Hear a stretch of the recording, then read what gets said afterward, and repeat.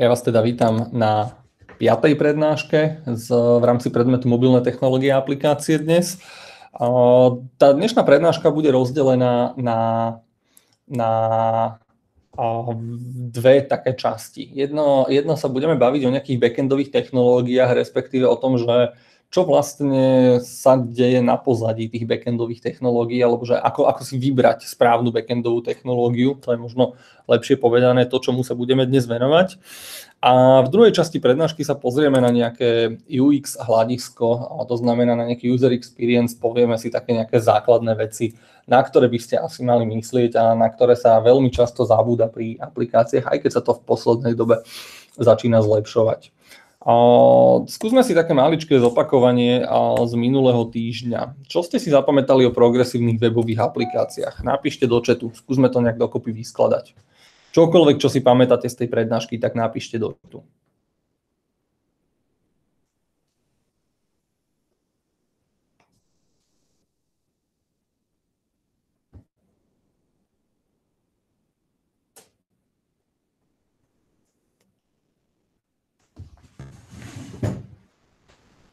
Zatiaľ to teda není veľká sláva. Čet zýva prázdnotou. Tak skúste.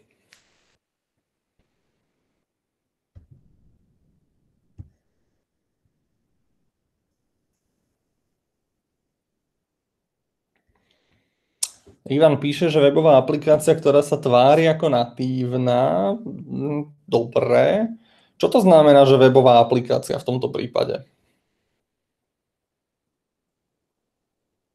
Potrebujeme ju inštalovať?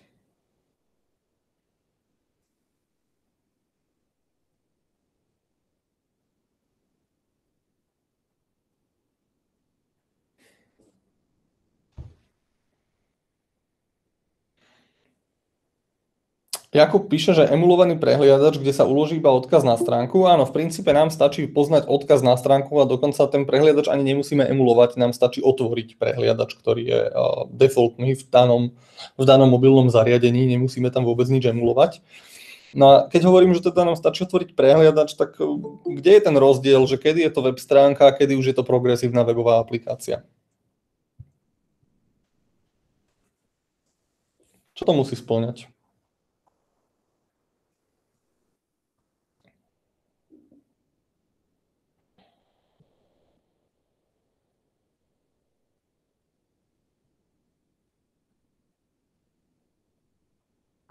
Boli tam také nejaké základné stavebné kamene tých progresívnych webových aplikácií. Kto si na to spomenie? Lukáš píše, že manifest, super. Čo obsahoval ten manifest? Dominik píše, že responsívna nedefrešuje za každou akciou, veľmi fajn, veľmi dobrý postreh. Čo ten manifest, čo obsahuje? Jakub ďalej píše, že progresívna webová aplikácia si ukladá statické dáta. Áno, v poriadku.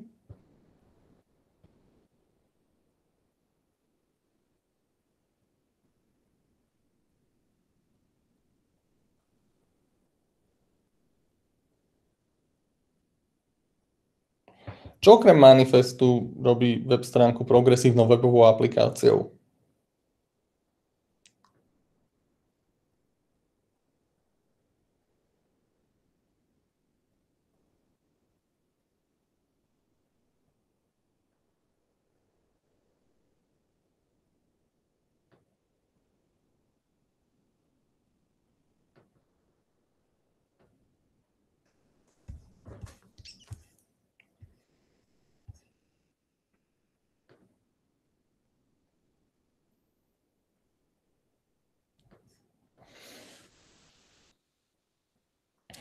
Teraz ste ma, priznám, sa trošku zaskočili, lebo neviem, že či teda o, z mojich prednášok si to nezapamätáte, alebo či nerozumiete tomu, čo hovorím, alebo že či je nejaký problém o, so samotným obsahom a formou prednášok, alebo či len v sklze akože iných povinností a času ste nemali čas o, dávať pozor, alebo si to potom možno ešte raz pozrieť.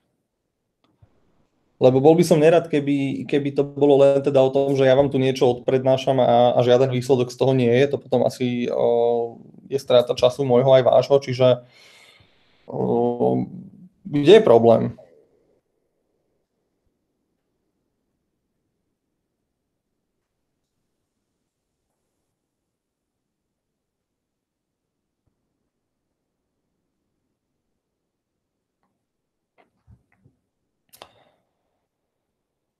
Samuel píše, že progresívna webová aplikácia teda by mala mať šifrovanie, OK, však HTTPS je povinné, to sme si povedali, super. A, a podporuje teda široké spektrum rozlíšení obrazoviek, to už sme tu tiež mali, že responsívna. A, skúsme, skúsme, uh, skúste, mi, skúste mi možno povedať, že či stíhate vôbec v rámci tohto semestra, alebo že či je toho na vás extrémne veľa a nestíhate sa venovať predmetom, alebo že či teda je nejaký problém, ktorý, ktorý treba vyriešiť, ktorý možno presahuje samotné prednášky tohoto predmetu.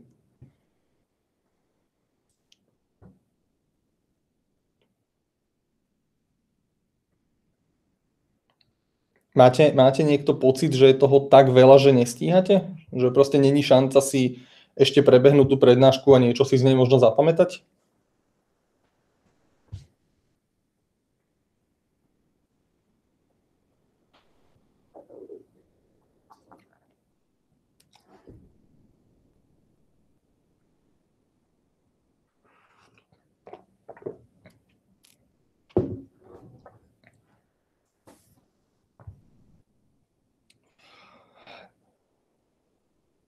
No dobre, niektorí píšu, že toho majú celkom dosť, niektorí píšu, že je to v pohode, ale teda mám pocit, že, že, že nejak nám tu tá interakcia viazne, tak uh, by ma celkom teda zaujímalo, že, že v čom je problém.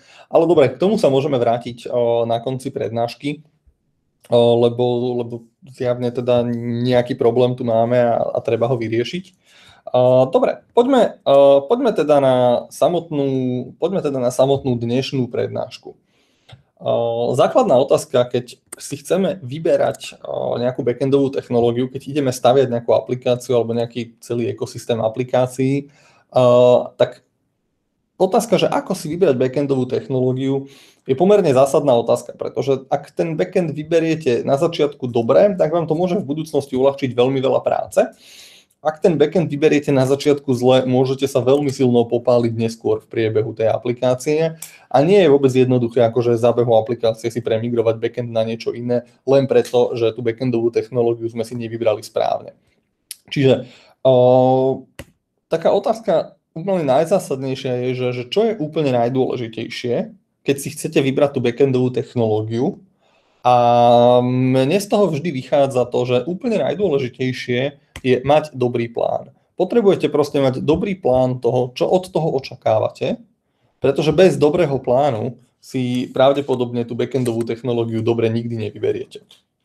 A teraz čo to znamená, že uh, mať takýto nejaký plán?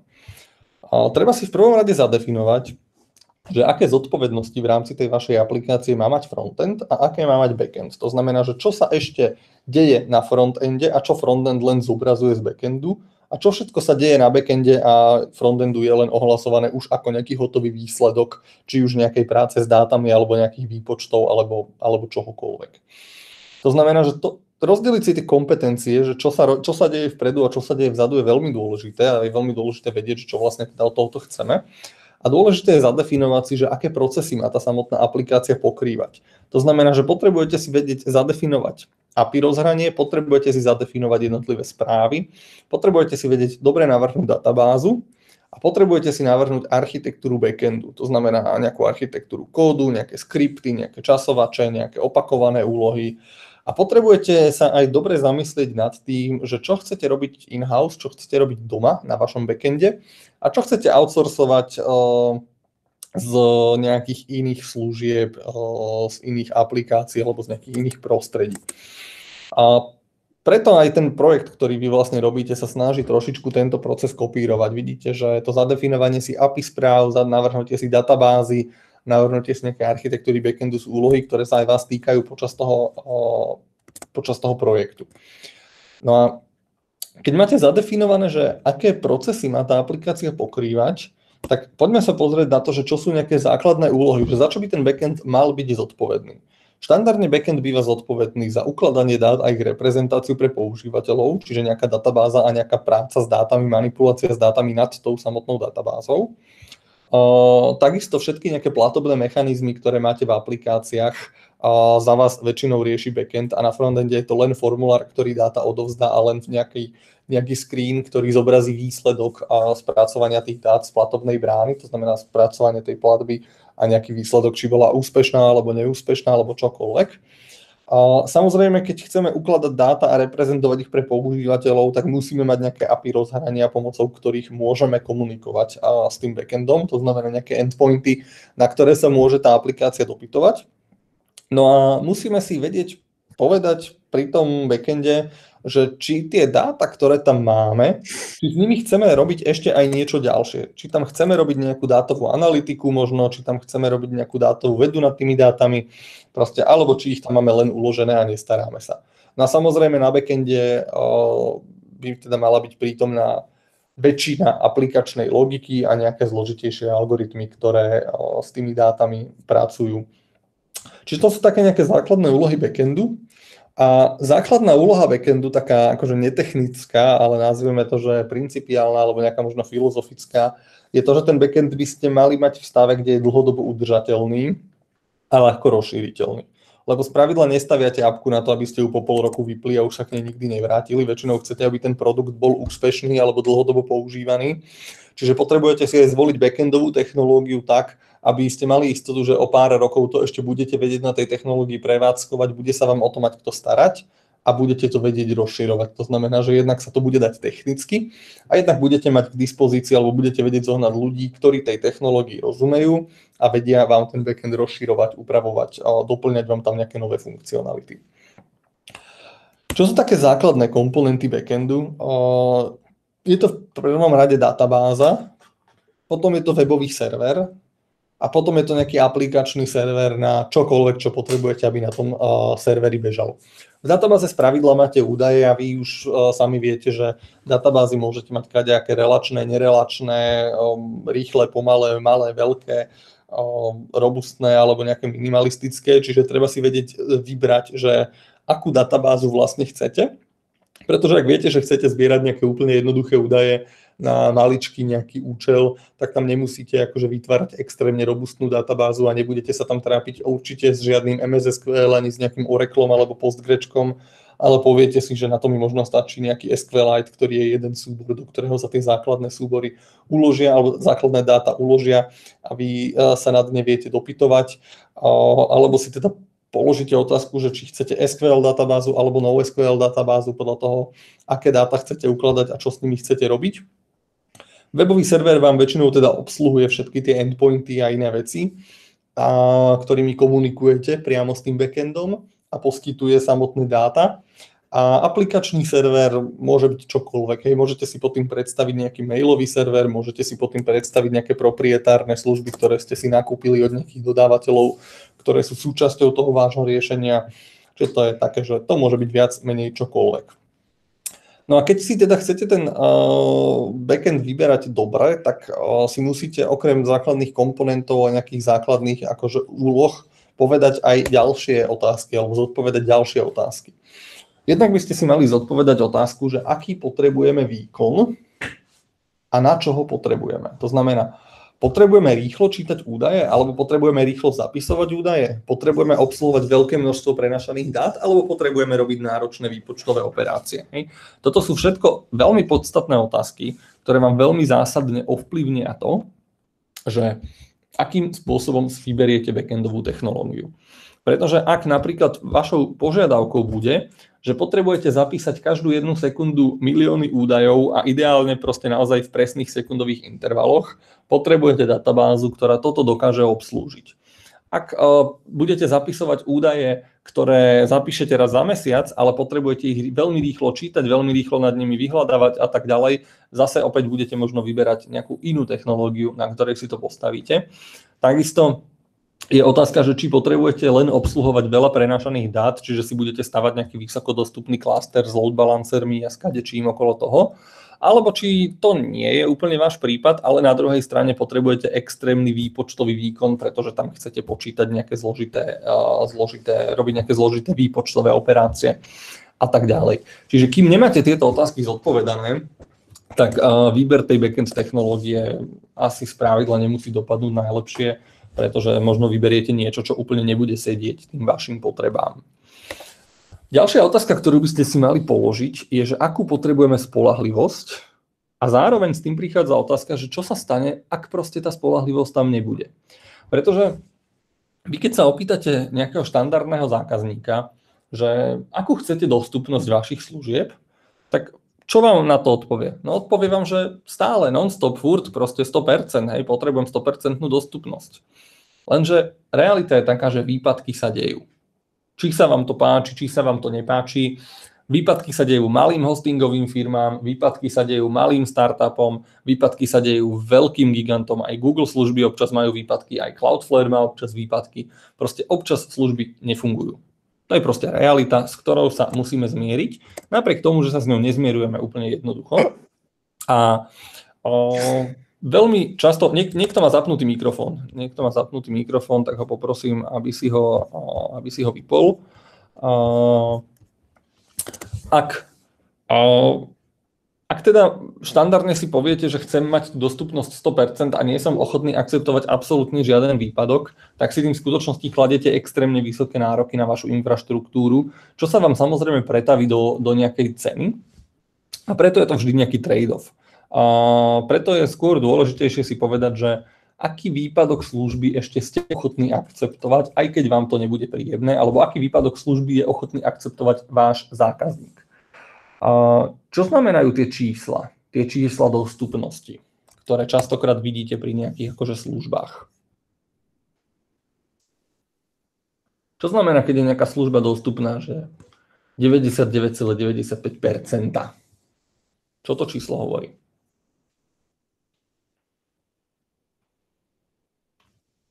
O čom to percento hovorí?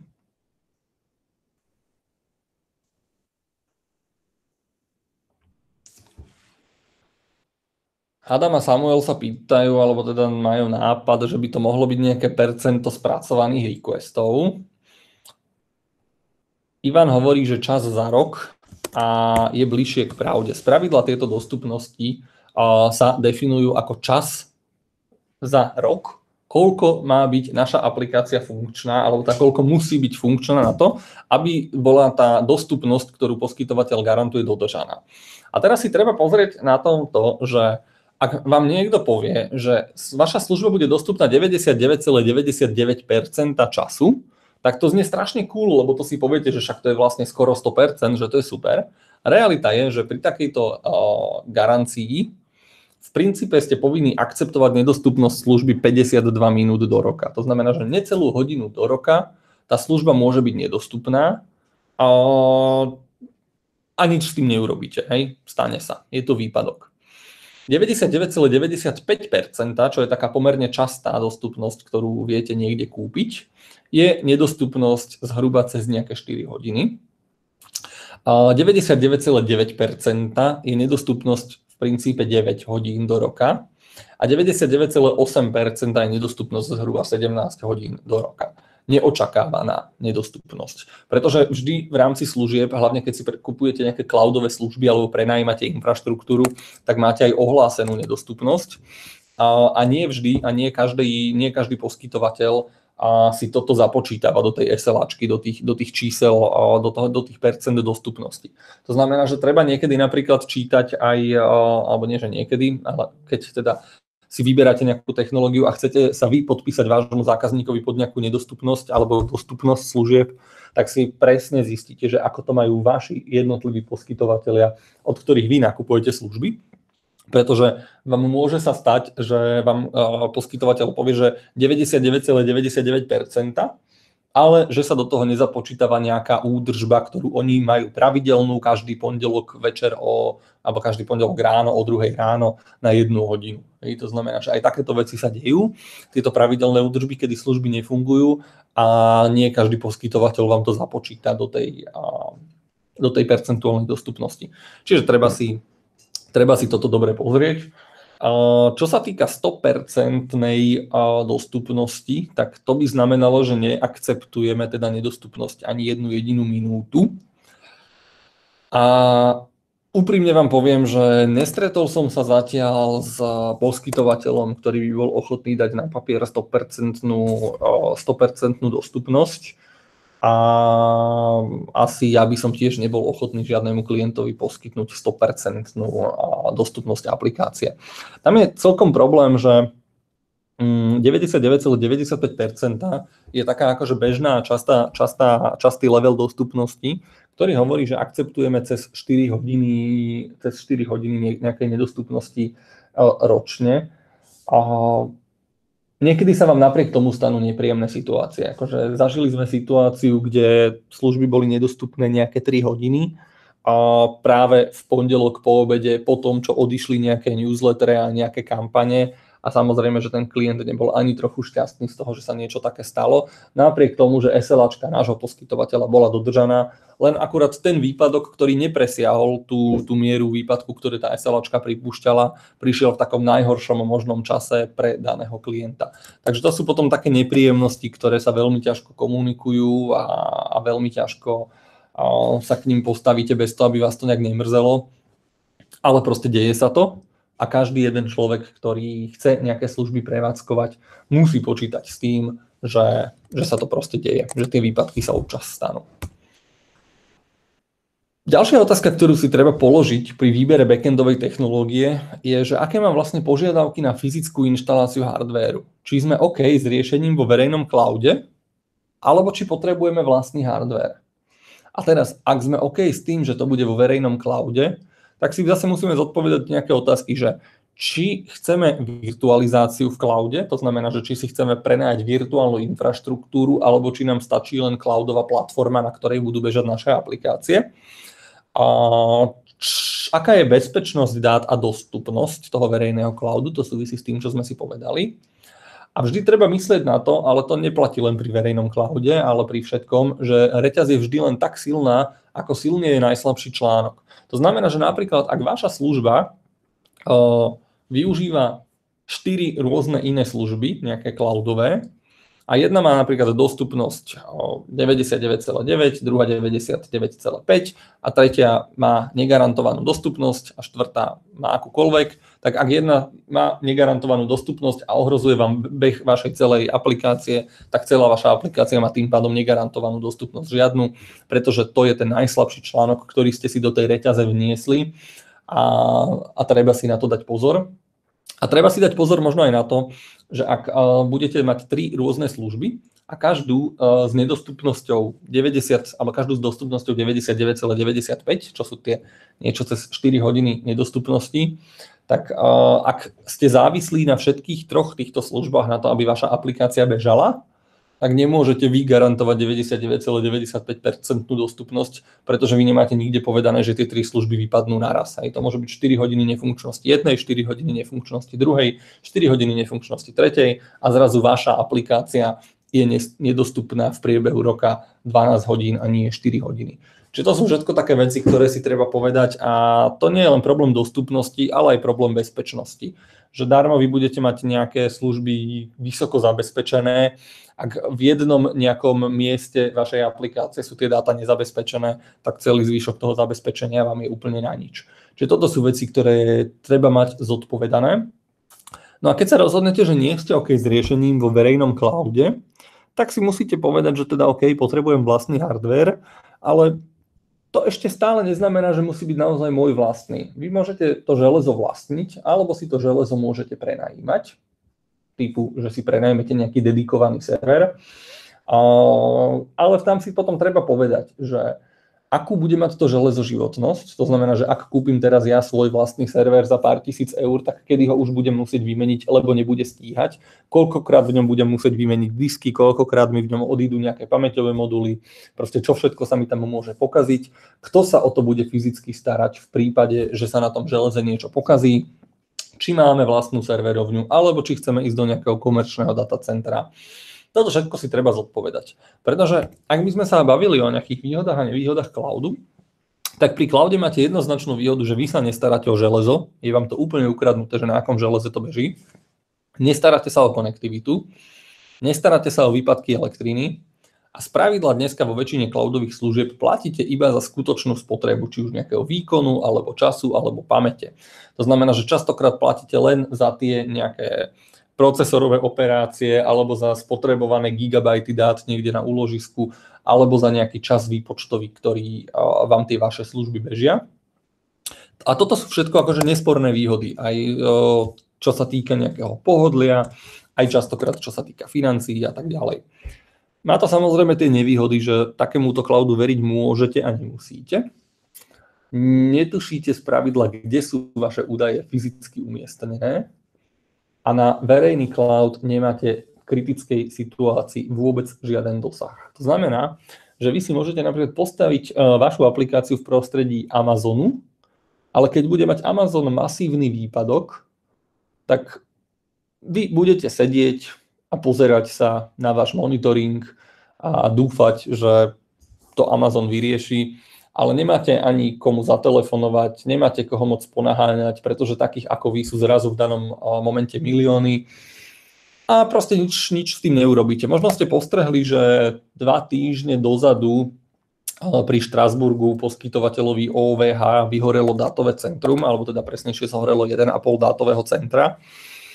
A v princípe, čo sa dalo urobiť? Hej? OVH oznámilo svojim ľuďom, teda svojim klientom, že aktivujte vaše disaster recovery plány, proste akože sme v stave katastrofy, čo sa týka prevádzky služieb a, a, a integrity dát, lebo to proste lahlo popolom a proste akože zmierte sa s tým, my pripravíme nové servery, akože nejak vám to vykompenzujeme, ale služby boli nedostupné. Hej. Železo zhorelo, dáta sa strátili.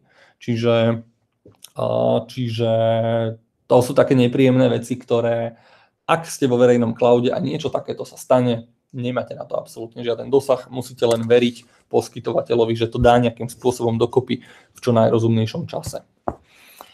Na druhej strane, ak si poviete, že idete cestou vlastnej fyzickej infraštruktúry, vlastného železa pre nejaký váš backend, tak všetko je plne pod vašou kontrolou. Vy presne viete, kde sú dáta, presne viete, kde sú zálohy. Keď potrebujete nejaké dáta zlikvidovať, tak viete tie disky fyzicky zničiť a viete, že dáta ste zlikvidovali. Cudzia chyba v princípe nezhodí váš systém, pretože sa nestane niečo také, že niekto v tom cloude spustil niečo a spadol celý cloud a celý výkon daného železa je k dispozícii len pre vás. Čiže máte garantované, že s akým výkonom môžete počítať, nedelíte si ten výkon medzi, medzi stovky alebo tisíce iných používateľov. Takže to sú zase také nejaké výhody vlastného hardvéru. Na druhej strane ten vlastný hardware stárne, ten vlastný hardware sa kazí, v tom vlastnom hardveri sú nejaké vendor locky, ktoré vás môžu e, časom e, spomaliť alebo obmedziť alebo proste prekážať vám. Musíte sa zaoberať tým pádom všetkými podpornými službami a z toho vám vypadne z pravidla to, že tie náklady sú vyššie, z pravidla paušálne, pretože platíte si prenájom nejakého serverového miesta, platíte si nejakú spotrebovanú elektriku, platíte si človeka, ktorý sa vám o to stará, platíte si možno človeka, ktorý je v pohotovosti, keď sa niečo pokazí, aby to rýchlo vyriešil a tak ďalej.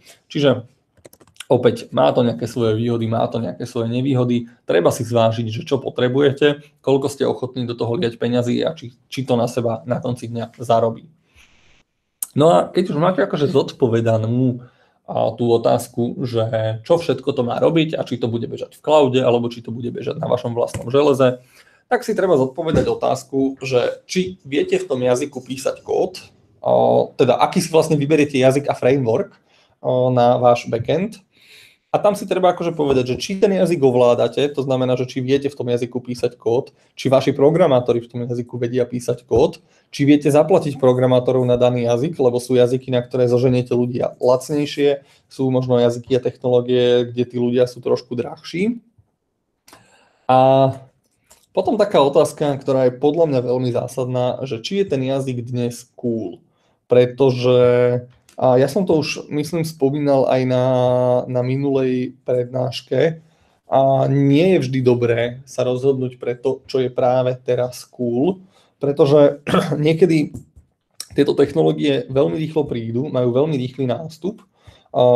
Komunita programátorov a vývojárov je z nich nadšená ale potom príde zase niečo nové, čo je viacej cool a tá komunita sa presunie k tomu niečomu novému.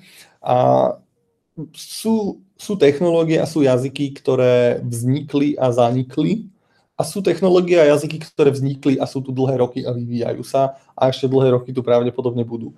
Čiže niekedy možno treba ísť na úkor toho, že čo je práve teraz cool a vybrať si niečo, čo, čo má už overenú, overenú nejakú stabilitu. Čiže ako ja, ja, to poviem, ja to poviem na takom príklade, že, že, že, že sú jazyky, ktoré, ktoré tu boli, sú a budú, aj? napríklad také nejaké PHP, ktoré veľmi veľa programátorov vám povie, že PHP je zlý jazyk, že PHP je starý jazyk, že PHP je nudný jazyk.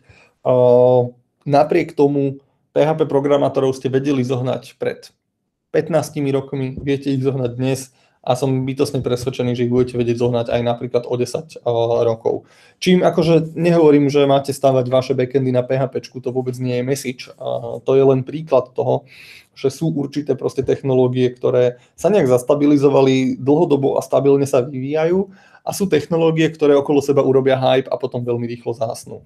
A nie je to príjemné, keď postavíte nejaký väčší projekt na nejakej nahypovanej technológii a zrazu o dva roky zistíte, že je ukončená podpora, ukončený vývoj, pretože to už nikoho nezaujíma. Pribúdajú mi tu v čete nejaké otázky, že Jakub sa tu v princípe pýta, že že ak asi sám sebe nebudem poskytovať internetové pripojenie ani elektrínu a zhorieť to môže, čiže nutne nebude mať vyššiu dostupnosť a aj keď mám redundantné zabezpečené pripojenie aj energie, tak môže nastať situácia, že budem nedostupný. Áno, vždy sa môže, presne ako píše Dominik potom, vždy sa môže stať niečo, čo sa pokazí. Každopádne tam si treba naozaj dobre, dobre tú infraštruktúru rozvrhnúť, pretože vy môžete mať napríklad primárny server, vymyslím si, v dátovom centre v Bratislave, kde viete, že to dátové centrum je pripojené na 4 nezávislé energetické vetvy, viete, že to dátové centrum má dobré UPSky, viete, že to dátové centrum má dva nezávislé diesel generátory, čiže v princípe elektrina by mala byť vyriešená. Napríklad v Bratislave jedno z datových centier, kde bežia aj kadejaké štátne služby, sa svojho času chválilo oprávnene tým, že mali dostupnosť 100%, čo sa týka akože energetiky. Čiže v horizonte posledných x rokov proste elektrina bola v serverovni dostupná stále, pretože to majú naozaj akože z rôznych vetiev od elektrárny a ešte tam majú svojich kopec záložných systémov. Keď máte vyriešenú elektrínu v, v dátovom centre, tak potrebujete vyriešiť internetovú konektivitu, a aj tu viete, je to vždy len otázka peňazí, pretože viete si tam dotiahnuť o, rôzne pripojenia od rôznych providerov nezávislých. Čiže ak si tam nakúpite dostatočný, dostatočné množstvo dobrého sieťového hardvéru a doťaháte si tam káble od jednotlivých providerov, čo znamená, že prenajmete si dneska káble od jednotlivých providerov, určite nebudete nič kopať a, a ťahať uh, vy sami, tak toto viete nejakým spôsobom zabezpečiť. A v princípe si môžete druhý server umiestniť do dátového centra do Amsterdamu a tretí server umiestniť do dátového centra do Spojených štátov a tým pádom uh, viete tú službu urobiť naozaj akože mimoriadne dostupnú, pretože si môžete povedať, že aj keď na Bratislavu padne atomová bomba a celé dátové centrum vyletí do vzduchu, tak stále to dátové centrum v Amsterdame ostane nedotknuté a tie služby sa prerútujú. To znamená, že áno, viete mať aj s vlastným železom kvantum akože železa rozhodeného po celej Európe alebo celom svete a urobiť službu, ktorá naozaj bude extrémne dostupná. Má to jednu jedinú nevýhodu, máte s tým extrémne vysoké náklady. Čiže toto si vždy treba, vždy treba zvážiť. Jeden z problémov, ktorý som postrehol pri tom požiari v OVH, ktorý bol v Štrásburgu, bol tuším to, že oni mali zálohy svojich klientov v tom istom dátovom centre ako ich produkčné servery. Hej, pretože oni to brali tak, že tie zálohy sú tam na to, že keď sa pokazia servery, aby tie dáta boli po ruke, no len keď dátové centrum zhorelo, tak zhoreli aj zálohy a tí klienti z toho neboli úplne happy. Akože býva vo všeobecnosti taká dobrá zásada, že zálohy by ste mali mať v úplne inej geografickej lokalite. A ideálne čo najďalej od tých produkčných dát. Takže dúfam, že som zodpovedal Jakub na otázku.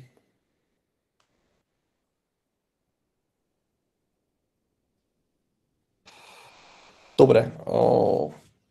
Pôjdeme ďalej. Jakub tam ešte píše niečo o nejakom poskytovateľovi v Bratislave. O tom sa rád porozprávam na konci prednášky.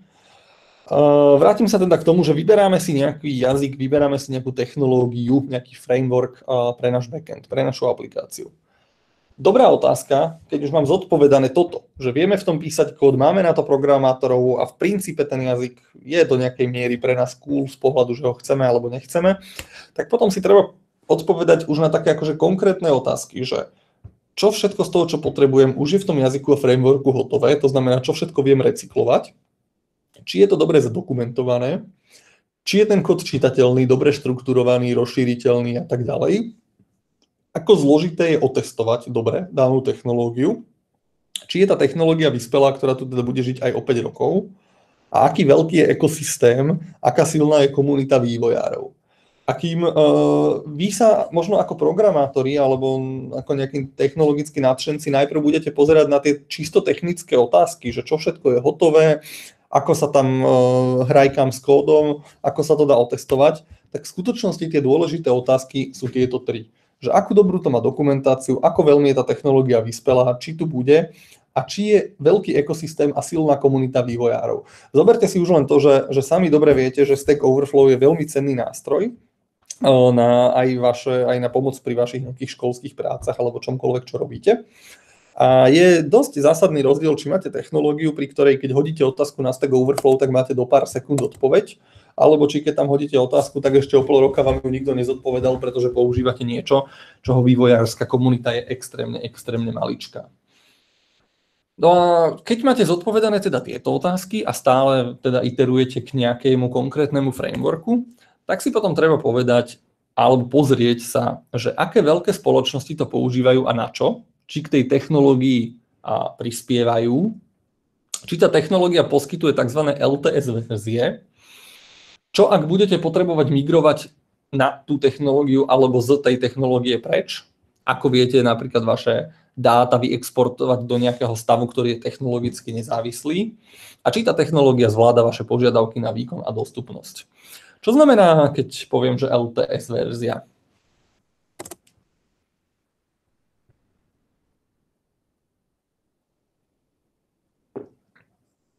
Dobroslav píše, že long term support. Čo to znamená?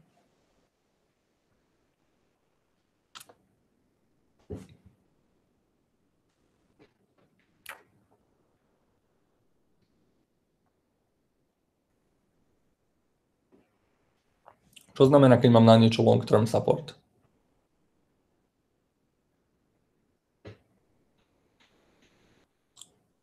že to budú podporovať v určitom časovom horizonte, ktorý je z pravidla o niečo dlhší, než býva bežným zvykom pri bežných verziách. Dobroslav píše, že napríklad 2 roky, a môže to byť kľudne aj viacej. Sú, sú aj softvery, kde LTS verzia znamená, že bude podporovaná 5 rokov a tak ďalej. A toto je taká nápoveda trošičku na to, že či tá technológia ešte bude žiť o pár rokov. Že ak si pozriete, že tá história toho, tej vašej technológie, ktorú ste si vybrali, je taká, že LTS je vždy podporované 5 rokov a momentálne už je 5. verzia LTS, to znamená, že už to existuje proste, aj to má nejakú minulosť, aj to má nejakú jasnú budúcnosť tak uh, si môžete povedať, že fajn. A ak zistíte, že tú technológiu používajú veľké spoločnosti typu Amazon, Facebook, Google, Microsoft a tak ďalej a nebodaj sú členmi komunity a prispievajú k tej technológii, že ju rozširujú a sami, sami ju nejakým spôsobom zlepšujú, tak je to tiež dobrý signál, pretože to tým pádom znamená, že asi tá technológia ešte chvíľu bude existovať. Každý sa však vždy upne len na tú kladnú vetvu, ale treba si vždy zvážiť pri výbere backendovej technológie aj tú zápornú vetvu. Treba si položiť otázku, že čo sa stane, ak náhodou napriek všetkému môjmu rešeršu, napriek mojej analýze, tá technológia náhle skončí a čo ak budem potrebovať rýchlo prejsť na nejakú inú technológiu z hociakých príčin. Bola taká služba, kedy si volala sa, že Facebook Parse, neviem, že či si ju niekto z vás pamätá, kľudne mi napíšte do chatu. To bola taká nejaká backendová služba, ktorá vám vedela nejakým spôsobom pokryť databázu, endpointy, proste vedela za vás riešiť veľmi veľkú časť backendu pre vaše, pre vaše aplikácie. A bola to extrémne populárna služba. V roku 2014 na túto službu využívalo pol milióna mobilných aplikácií a všetci sa tvárili, že toto bude akože taká veľká budúcnosť, že toto bude niečo, čo proste je backendová služba, patrí to Facebooku, Facebook je tá veľká firma, ktorá sa za to postavila, bude to super. A zrazu v roku 2016 Facebook z nejakých príčin povedal, že Facebook Pars ako služba končí a na budúci rok to vypíname. A naozaj v roku 2017 to vypli, zverejnili zdrojové kódy a povedali, že však keď chcete ten bars používať ďalej, tak si ho rozbehajte na vašom vlastnom nejakom železe alebo v nejakom vašom vlastnom cloude. Je to open source, robte si s tým, čo chcete, ale hostujte a prevádzkujte si to sami. Microsoft sa to snažil trošičku zachrániť a nejak zakomponovať do Azure Cloudu, ale reálne je to dnes komunitná záležitosť. Čiže Pars uh, mal našlapnuté, mal, mal, bol extrémne populárny, vývojári v danej dobe uh, o tom uh, skladali chválospevy a potom sa to zrazu vyplo a myslím si, že dnes o Parse moc ani už počuť nebudete, pretože je to už len taká vec, ktorá niekde dožíva u pár nadšencov alebo u pár ľudí, ktorí to z historických dôvodov používajú. Sú nejaké otázky k tomuto, že teda ako si vybrať backendovú technológiu?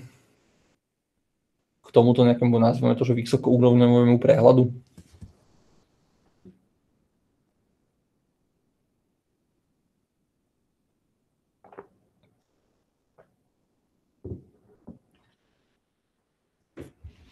Dobre, ak nie sú, tak pôjdeme ďalej. Urobíme si taký nejaký rýchly prehľad populárnych technológií.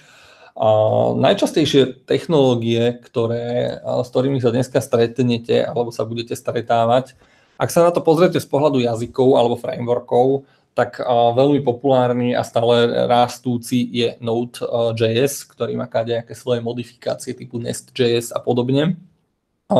Čiže tieto javascriptové frameworky alebo teda veci okolo Node v poslednej dobe extrémne nabrali na popularite a, a sú veľmi rozšírené. A stále je dosť silno rozšírené PHP, ktoré vydáva stále nové verzie, stále existuje, existujú desiatky frameworkov, ktoré sa aktívne vyvíjajú a tak ďalej. Čiže stále veľmi veľká časť aplikácií beží na PHP a na novom PHP, nie na starom PHP. A, a potom sú tu ešte samozrejme aj Pythonovské nejaké frameworky typu Django, na ktorých tiež môžete postaviť backend nejakej nejakých, nejakých aplikácií, respektíve možno trošku, trošku menej. Ja, ja osobne som s, s robil raz, pár rokov dozadu, nebol som úplný nadšenec Djanga, pre mňa to bolo také nejaké chaosné, ale má to, má to svojich fanúšikov, takže kto, kto má rád Python, ako ho baví hrajkať sa v Pythone, tak určite aj Python je cesta. To sa týka akože jazykov. Keď sa budeme pozerať na nejaké databázy a technológie, lebo toto sa dneska nedá akože úplne, úplne oddeliť od seba jedno od druhého, a, tak akože Google Firebase, Google App Engine, Google Compute Engine, Amazon AWS, Microsoft Azure Cloud, Backendless, a, Express.js, GraphQL, hej, sú technológie, ktoré, ktoré viete dnes využiť práve na dáta a všetko okolo tých dát. A ono toto momentálne trošičku vyzerá ako, ako reklama na Google, ale nie je to reklama na Google. A vôbec a budeme, sa, budeme sa práve baviť aj o tých negooglackých službách.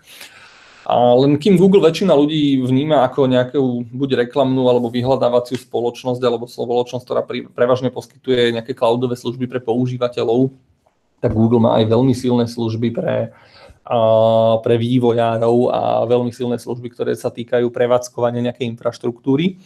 A napríklad Google Firebase je taká služba, ktorá cloudová, kde máte kvázi NoSQL databázu, a nejakú možnosť výmeny dát a analytiku nad tými dátami. Je to cloudové riešenie postavené teda na Google infraštruktúre, a ktorého základom je real-timeová databáza a kadejaké tzv. cloud functions, čo je v princípe nejaký backendový kód, ktorá ako technológia umožňuje napríklad také veci ako priamočiarny nejaký A-B testing a podobné veci, ktoré možno ako vývojári chcete mať a má rôzne rozšírenia, že môžete tam priamo využívať služby Google Translate, resizovania obrázkov a tak ďalej. Čiže je to ako keby nejaká databáza, ktorá je real-timeová a okolo nej máte kvantum nejakých podporných funkcií, ktoré môžete chcieť na niečo použiť. Je to lacné, je to populárne, používajú to veľké spoločnosti. Nebolo to pôvodne vyvinuté Googlem, Google to zhltol v roku 2014. A podľa Wikipédie dva roky dozadu, alebo rok dozadu, na tom bežalo 1,5 milióna aplikácií a, a ten model je tam pay as you go, čiže platíte za prenesené dáta, platíte za množstvo dát, ktoré máte v tej databáze a je to akože neuveriteľne lacné. My keď sme robili a, nejakú aplikáciu, ktorá bola vo fáze nejakého testovania s nejakými pár desiatkami používateľov a pár stovkami alebo tisícami záznamov v tej databáze, tak z Google Firebase mi chodili každý mesiac faktúry, že 3 centy, 4 centy, 6 centov, akože naozaj to boli že totálne smiešné peniaze. A samozrejme ako náhle vám to narastie, tak nemusíte škálovať žiaden výkon, jediné čo sa vám stane je, že vám z toho Google začnú chodiť väčšie faktúry, čo je v princípe akože celkom, celkom fajn. Okrem toho, že tam teda je tá databáza v tom Firebase, tak tam máte tzv. Cloud Functions, čo sú funkcie nasadené do Firebaseu, ktoré sú previazané na nejaký trigger typu, že prišiel HTTP request, alebo sa zmenil nejaký záznam v databáze, alebo sa proste niečo stalo a slúžia napríklad na poslanie notifikácií používateľom. A je tam kadejaká integrácia so službami tretich strán a tak ďalej. To znamená, že že napríklad vy môžete mať cloud function, ktorá kontroluje, či v databáze nepribudol nový záznam a keď pribudol, pošlete konkrétnym používateľom nejakú notifikáciu, že pozri, tu niečo pribudlo a tak ďalej. Takže, takže celkom akože fajn. Keď vám nestačí Firebase a chcete niečo viacej, ale ste fanúšik Google a chcete to mať v Google prostredí, tak môžete ísť tzv. cestou Google App Engine, čo je ako keby Možno, možno, možno by sme si tu mohli povedať také, že skrátky, že vy možno poznáte také skrátky, že BAAS, PAAS a IAAS, že Backend as a Service, a Platform as a Service, Infrastructure as a Service. Ak sme sa bavili o Google Firebase, tak to je práve to, čo sa dá popísať, že Backend as a Service. Hej, že vy nespúšťate nejakú vašu aplikáciu, vy len využívate nejaké nástroje nejakej inej aplikácie, v tomto prípade Firebaseu, ktorá robí ten backend. Ak vám toto nestačí, tak môžete mať tzv. platform as a service, a to je napríklad Google App Engine, kde môžete priamo čiaro spúšťať váš kód v cloudovej infraštruktúre Google bez toho, aby ste niečo nejak zásadne inštalovali. A dnes, alebo teda rok dozadu, keď tieto slajdy vznikali, tak Google App Engine podporoval Java, PHP, Node.js, Python, C Sharp, .NET, Ruby, Go, čiže v princípe čokoľvek z týchto akože mainstreamových jazykov, ktoré ste chceli akože používať, tak ste v tom Google App Engine vedeli priamo mať, že ste si tam vyklikali, že idem prevádzkovať PHP aplikáciu, hodili ste tam PHP kód a ono vám to proste bežalo ako platforma. Nebol to virtuálny server, nebol to webový server priamo čiaro, bola to len platforma, ktorá spúšťala váš kód. Opäť, pay as you go tam máte, to znamená, že platíte len za to, čo využívate. Sú tam kadejaké možnosti typu load balancing, A-B testing, stráženie verzií, zabezpečenie. Sú tam ale určité obmedzenia, ktoré vedia byť otrávne, či už týkajú sa nejakých časových limitov alebo prístupov na file systém. A teda je to, ako som povedal, to, čo označujeme ako platform as a service. Je to celkom fajn riešenie na na kadejaké mobilné backendy, kde keď využijete ten App Engine, využijete tam proste nejaké ďalšie služby, ktoré, ktoré ten Google Cloud ponúka, typu nejaký memory caching, typu nejaký data store, alebo aj ten spomínaný Firebase a tak ďalej, tak viete v princípe akože si postaviť celkom solidný a robustný backend na infraštruktúre Google. Opäť, keď sa vrátim k tým výpadkom, ak vypadne Google, vypadol vám celý váš backend. Čiže v tomto momente ste akože veľa nezískali. Ak vám nestačí ani toto, ale chcete naozaj kvázi mať vlastný server, akurát, že ho chcete mať v Google, tak tá služba sa volá, že Google Compute Engine, a čo sú ako keby virtuálne servery v Google Cloude, kde si tie virtuálne servery môžete nahodiť do rôznych konfigurácií, môžete ich mať dokonca aj ako dedikovaný server, čiže vlastné železo, ktoré tam niekde v dátovom centre je. A, a všetci sa tvária, že toto je vaše železo v tom Google Cloude, o ktoré sa vám Google stará máte k tomu pokročilé API, aby ste si vedeli túto infraštruktúru spravovať. Dokážete si tam dokonca postaviť vlastný privátny virtuálny cloud v rámci Google Cloudu. A toto už je tá služba, ktorá sa volá, že Infrastructure as a Service, že vy si prenajímate naozaj server, na ktorý čo si nainštalujete, ako si ho nakonfigurujete, ako si ho zabezpečíte, tak ho budete mať. Padla tu v čete otázka, že či by som bol nekludný mať niečo postavené na CentOSe, Mm, ako neexistuje na to, že odpoveď, že áno, nie. Ale asi by som nebol. Ako, neviem, neviem o tom, že by som mal byť. Však CentOS sa dlhé roky vyvíjal tak, že vždy, keď vyšiel Red Hat, tak nadšenci z Red Hatu odstranili všetko proprietárne, pre, pre, prehodili loga, vyčistili to od vecí, ktoré tam z open sourceového hľadiska nemôžu byť a vydali to pod názvom CentOS. Akože vždy to bolo považované za takú stabilnú a spolahlivú distribúciu Linuxu, takže neviem, že či tá otázka Jakub mierí niekam konkrétne, ale ja som nikdy, uh, nikdy nepočul nejaký zásadný hate na CentOS. Ale ani som akože, ani nesledujem úplne aktívne že, že, že čo sa deje okolo CentOSu. Úprimne neviem, ako sa teraz mení licencovanie CentOSu, takže mm, z tohto hľadiska na to neviem, eh, neviem odpovedať. Momentálne dosť akože sa stabilizovalo to, že aj na veľa virtuálkach v týchto cloudoch sa defaultne inštaluje buď Ubuntu alebo Debian a nikomu to nevadí. Akože ešte pár rokov dozadu sa to bralo tak, že Ubuntu a Debian sú také tie akože nadšenecké distribúcie, ktoré na server, eh, na, na, na dôležitý a naozaj vážny server nepatria a myslím si, že toto dneska už dávno neplatí. Vtedy, vtedy ten CentOS mal akože naozaj takú vysokú popularitu, že to bolo vnímané ako kvázi taký ten Enterprise Linux, aj keď nebol v skutočnosti Enterprise. Dobre, pôjdeme naspäť k, k týmto slajdom. Uh, tak ako Google má kompletný nejaký svoj ekosystém, tak aj Amazon v rámci toho tzv. AWS alebo Amazon Cloudu má kompletný ekosystém cloudových služieb, ktoré sú mimoriadne obľúbené akože kompletne celosvetovo.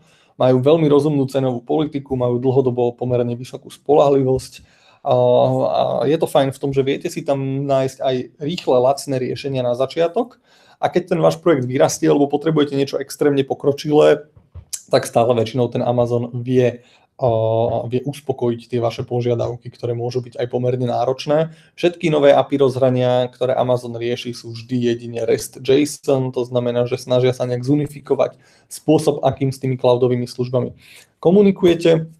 Keď si otvoríte stránku Amazonu, tak zistíte, že naozaj dneska v tom cloude máte akože všetko možné, nejaké analytiky, integrácie, výpočtový výkon, kontajnerizáciu, databázy, strojové učenie, IoT prostredie, kvantové technológie, satelitné technológie, úložisko dát, virtuálnu realitu, čokoľvek, čo potrebujete. Čiže je to extrémne široký ekosystém, kde naozaj si viete naobjednávať také služby, aké potrebujete a je to obľúbené aj v tom nejakom korporátnom komerčnom prostredí. Tiež som nepočul zatiaľ nejaké zásadné hejty na, na, na Amazon uh, Cloud. Medzi takých dvoch ich používateľov alebo klientov, ktorými sa veľmi radi chvália, patrí uh, NASA a patrí Netflix. Uh, čiže toto sú také dve, nazvime to značky, ktoré sa hrdo chvália, že my bežíme na Amazon Cloude, alebo teda veľa našich služieb beží na Amazon Cloude a v princípe sme akože s tým stotožnení a, sme s tým spokojní. Keď nechcete ani Google, ani Amazon, môžete ísť cestou Microsoftu, ak si chcete vybrať stále nejakú veľkú korporáciu. Microsoft má tzv. Azure Cloud, alebo teda celý ten Microsoft Cloud, neviem, ako sa to presne teraz obchodne volá. Čo je opäť kompletný ekosystém cloudových služieb, Chcel by som povedať, aj, aj, aj, aj toto mám uvedené, že má trošičku jednoduchší model než AWS alebo Google App Engine, ale nie som si ešte úplne istý, či toto platí, lebo Microsoft sa s tým svojim Azure Cloudom tiež extrémne rozbehol. Tiež tam dnes nájdete všetko možné. A, a čím viac uh, sa Azure Cloudu chytám, tak tým viac mám pocit, že v tom Azure viete urobiť naozaj úplne všetko, vie tam fungovať úplne všetko, má to perfektnú dokumentáciu, ale aj tak z tej dokumentácie častokrát akože sa vytrápite a kým tam rozbeháte to, aby tam bežalo to, čo tam chcete, aby bežalo, tak sa tiež extrémne vytrápite. Taká, taká, mm, má, má, mám také veľmi zmiešané pocity z tej služby, že, že, že super, na jednej strane všetko super, ale niekedy na môj vkus až príliš komplikovaná správa všetkého, zo ako tam, tam, tam ako keby všetko so všetkým súvisí a niekedy akože doklikať sa tam k tomu, čo práve potrebujete, čo na začiatku znie ako jednoduchá úloha, môže byť celkom challenging, uh, challenging uh, task. Každopádne uh, tento Microsoft Azure Cloud je veľmi obľúbený uh, aj v kadejakých akože vládnych a štátnych uh, organizáciách, pretože Microsoft napríklad na rozdiel od Google sa tvári, že vám vie zabezpečiť napríklad to, že vaše dáta neopustia územie Európskej únie, alebo že vaše dáta neopustia územie, uh, neopustia územie Spojených štátov, alebo vám vedia zabezpečiť, čo sa stane s vašimi dátami potom, keď ich už nepotrebujete a tak ďalej. Že, že ten Microsoft sa snaží myslieť na to, že ten komerčný korporátny svet a možno svet nejakej štátnej správy uh, má trošku iné požiadavky ktoré možno bežné startupy nemajú a Microsoft sa ich snaží uspokojiť. Takéto akože by som povedal, že až priam, e, nie že obchodné, ale možno, že až, až, až politické požiadavky. A, takže v tomto smere akože ten Microsoft je celkom, je celkom chválený. O, Jakub píše, že používa Azure na predmete DBS a nie je to dobré, pretože tam máte low budget server a nedá sa na tom robiť. Podľa mňa ale tá odpoveď sa skrýva v tom, že tam máte low budget server a, a nie v tom, že by to bol problém Azure. Akože ja som sa nechtiac ocitol pri pár projektoch, kde ten Azure bežal v obrovských nasadeniach pre, pre veľké, veľké cloudové projekty a, a nemám pocit, že by že by som počul čokoľvek takéto. Hej. Len samozrejme stojí to peniaze. Konec koncov preto to tie firmy robia, aby na tom zarobili. Toto je taká inak vec, ktorú, ktorú možno trošičku skresľujú tie cloudy, že veľmi veľa ľudí má dneska ako keby pocit, že, že všetko má byť extrémne lacné, lebo však ten cloud by mal byť extrémne lacný a ľudia nechcú platiť za, za nič, ako keby, ako keby je taká nálada nejaká aj medzi klientmi a medzi mnohými ľuďmi, ktorí tieto služby využívajú, že, že chceme, aby to bolo stále lacnejšie, ale zároveň stále lepšie, rýchlejšie, dostupnejšie a vždy je to proste nejaký trade-off medzi cenou a to tým, čo, čo za tú cenu dostanete.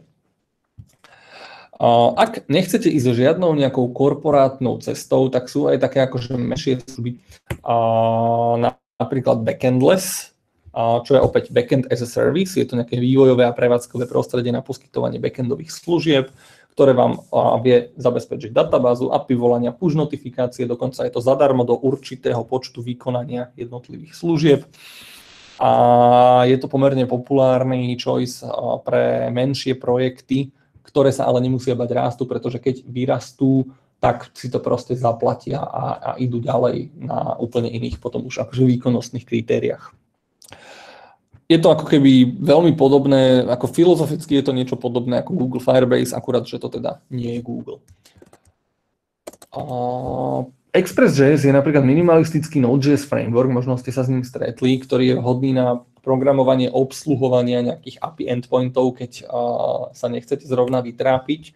Je to veľmi jednoduché integrovateľné s väčšinou známych databáz, čiže napríklad ak uh, chcete tým obsluhovať nejaké MySQL, tak vidíte, že ten konektor je pár riadkov kódu a vidíte, že vykonávanie nejakých query a tak ďalej je veľmi jednoduché, čiže, čiže viete to proste prepojiť s nejakými a, databázami, ktoré práve používate a viete potom obsluhovať tie endpointy alebo tie volania, ktoré sa k tým dátam z databázy chcú dostať alebo tam chcú niečo zapísať. Možno ste sa stretli s GraphQL, alebo sa opýtam, a toto ma celkom zaujíma, prieskum v čete. Kto z vás aktívne použil GraphQL na niečo? Kto z vás sa stretol s GraphQL a, a povedal si, že toto je fajn?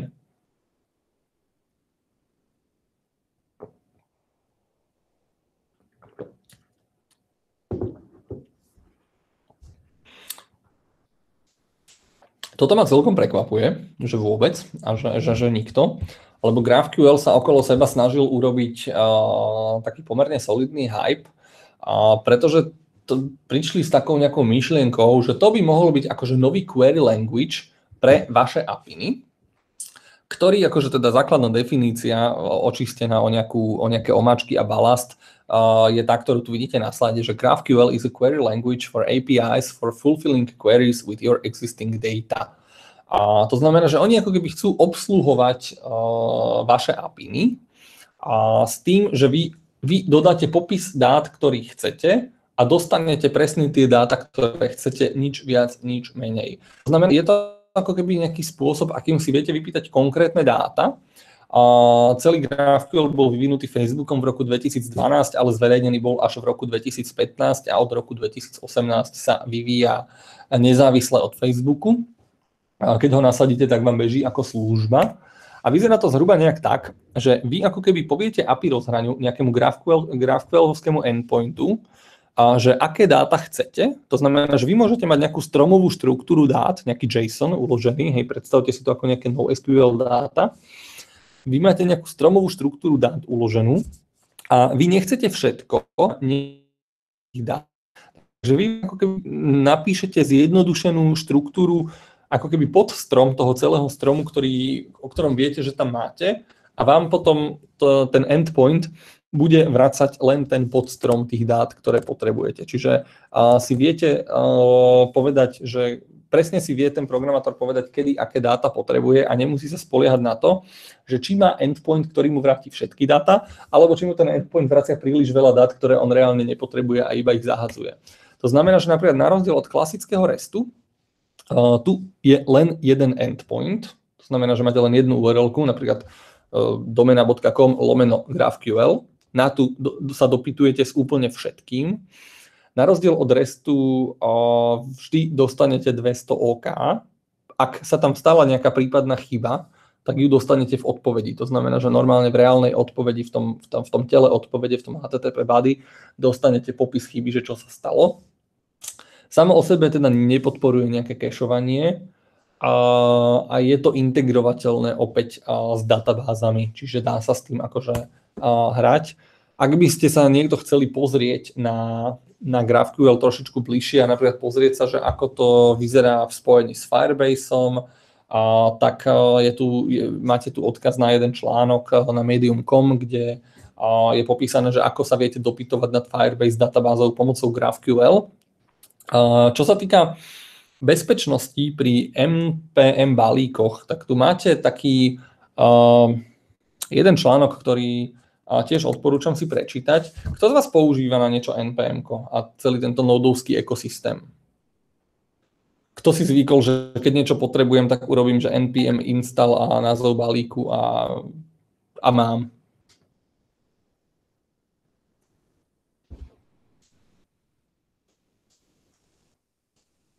No, s tým npm-kom je vás tu teda viacej ako, ako s, s GraphQL-kom.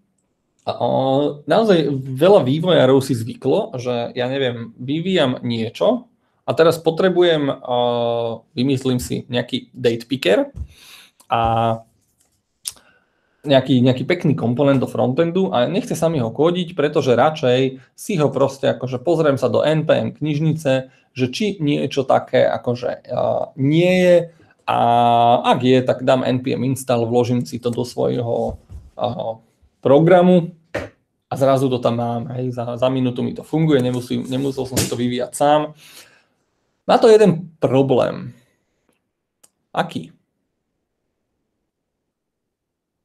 Aký je s týmto problém, keď takto akože používame knižnice, ktoré zoberieme z internetu? Licencia a stabilita sú možno jeden z problémov, ako píšete, Mňa možno zaujíma iný. Lukáš píše, že bezpečnosť a trafil do čierneho, pretože kto z vás, keď zoberie nejakú lípku, ktorá robí to, čo chcete, aby robila, si naozaj pozrie do poslednej bodky zdrojový kód tej lípky a zamyslí sa nad tým, že či to nerobí nič iné, či to nerobí akože niečo, čo to robiť nemá a tak ďalej. A veľmi veľa, veľmi veľa vývojárov si zvyklo, že proste zoberiem, hodím, ak to funguje, tak sa ďalej nestarám. Mám tam na to lípku, mám tam na to komponent, všetko je vlastne fajn. A uh, máte tu link na jeden článok, kde autor uh, hovorí, že v princípe vytvoril uh, nejakým spôsobom uh, vytvoril nejakým spôsobom komponent alebo lípku, ktorá dokáže nastaviť farebné výpisy, veľmi jednoducho farebné výpisy do konzoly. Čiže keď si chcete niečo vypisovať a debugovať do konzoly, tak si to môžete pekne ofarbičkovať a budete to mať akože prehľadné a, a bude to vlastne fajn. A že takéto niečo dal do NPM knižnice, ale v skutočnosti v tom bol aj skrytý formulár, ktorý sa snažil e, zo uložených dát vo formulári vytiahnuť všetky možné údaje o osobách a o kreditných kartách, ktoré daní ľudia v prehliadačoch uložené majú. A autor tohoto článku teda konštatuje, že dostáva nejakých 120 tisíc stiahnutí e, svojej knižnice za mesiac, a pričom už sa ocitol akože tento kód aj na kadejakých akože veľkých stránkach a že tým pádom vlastne takýto nejaký svoj škodlivý kód rozdistribuoval prostredníctvom NPMK a kade tade a, a že sa teda mohol podostávať k rôznym údajom. Na konci na konci článku autor konštatuje, že teda takéto niečo si možno napísal, ale nespublikoval to tak, ako hovorí. Každopádne, keď ten článok vyšiel, tak akože vydesil veľmi veľa vývojárov. Má to, na ten článok je nejakých 226 tisíc ohlasov a pod článkom sú proste stovky komentárov od komunity, pretože jednoznačne poukázal na to, že keď používate cudzí kód a neviete poriadne, že čo všetko v tom cudzom kóde je, tak možno pre úplnú blbosť typu farebné výpisy do konzoly ste si vniesli do vášho programu niečo, čo vám vykrada uložené údaje z cookie, z prehliadača a tak ďalej. Čiže na toto si treba dávať akože veľký pozor, odporúčam ten článok si prečítať. A keď ho začnete čítať, tak možno vy budete pokojnejší, pretože už viete, ako ten článok dopadne ale na začiatku, keď ten článok vyšiel, tak naozaj akože mnohých ľudí vydesil, pretože zrazu niektorí precitli, že čo vlastne všetko z toho npm mám nainštalované vo svojich zdrojových kódoch. Máte tu aj link na React Native online kurz, keby ste chceli, ak sa mi tu ocitol v tých slajdoch. A toľko asi k backendovým veciam, k tej prvej časti prednášky, ktorá je dnes za nami. Sú nejaké otázky?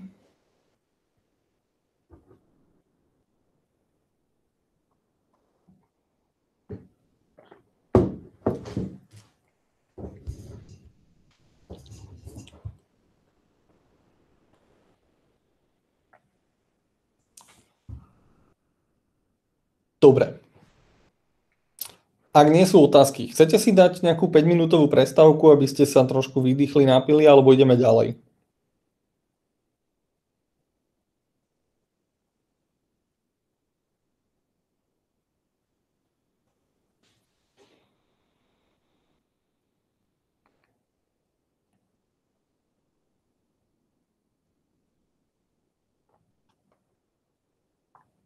Dobre, poďme ďalej.